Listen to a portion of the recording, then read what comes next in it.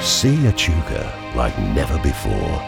With daily lunch, morning and afternoon tea cruises, or inquire about the overnight cruise packages.